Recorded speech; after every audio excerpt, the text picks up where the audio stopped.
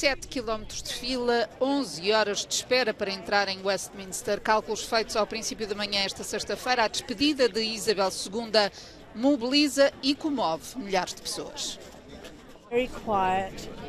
Foi muito tranquilo, muito respeitoso. Ninguém estava a falar. Apenas pessoas a prestar a sua homenagem de forma bastante comovente. Foi uma experiência maravilhosa. Viemos para dizer adeus. Queríamos prestar a nossa homenagem e foi o que fizemos. Sei que nunca a conheci cara a cara, mas é como se ela fosse uma avó. Vejo-a como uma avó e ela era uma senhora maravilhosa e poderosa.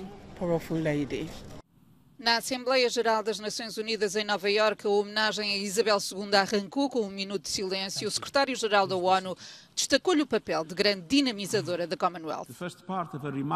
Na primeira parte de um reinado notável, viu muitas nações ganhar a independência da Grã-Bretanha e a formação da Commonwealth, um grupo multilateral diversificado. Os membros da Commonwealth estão entre os mais firmes apoiantes das Nações Unidas. Juntamos-nos a eles neste luto.